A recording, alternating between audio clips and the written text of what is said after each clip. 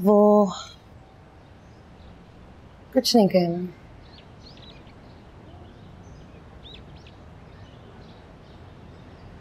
नीयत बुरी नहीं है असवद की।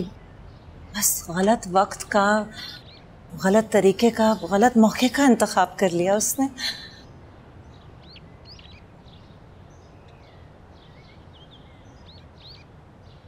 अच्छा तुम क्या चाहती हो? मम्मी ये ऑप्शन तो मेरी ज़िंदगी में कभी नहीं रहा। मैं अपनी ज़िंदगी का फैसला ख्वाहिश से करूँ।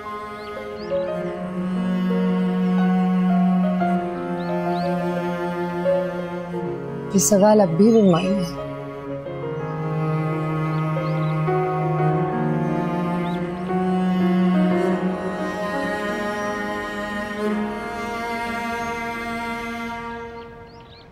अच्छा देखो, अगर तुम सफवान से ही शादी करना चाहती हो तो मैं असवद से बात कर सकती हूँ। सफवान से शादी नहीं करना चाहती?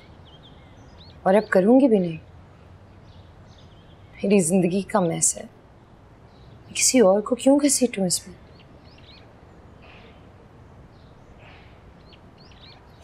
थोड़ा सा जज्बाती है असवद बहुत खुश रखेगा तुम्हें। तुम्हें याद है बचपन में? कितना ख्याल करता था तुम्हारा, कितना प्यार करता था तुमसे। और तुम्हारी जबान पे भी असवद के अलावा किसी का नाम ही नहीं रहता था।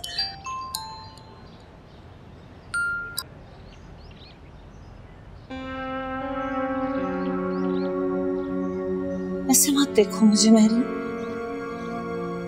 आप घर जाए। बार बार कॉल्स आ रही। सब ठीक है?